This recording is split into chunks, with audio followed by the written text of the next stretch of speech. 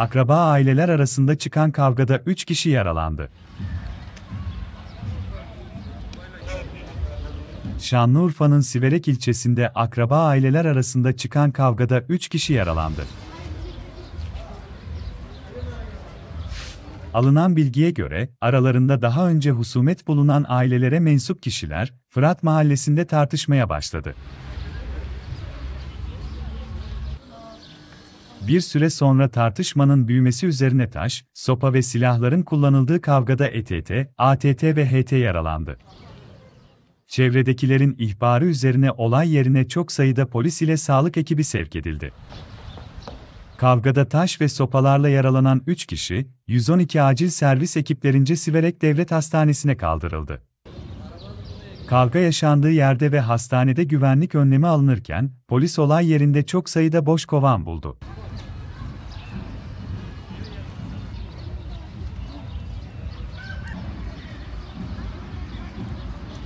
Yaralıların sağlık durumlarının iyi olduğu öğrenirken, polis olayla ilgili inceleme başlattı.